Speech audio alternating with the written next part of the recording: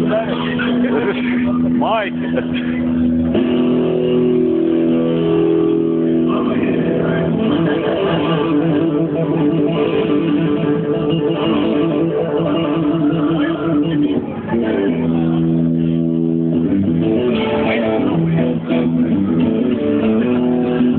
Sabe um livro de ferro? isso, neve, tá? Thank you.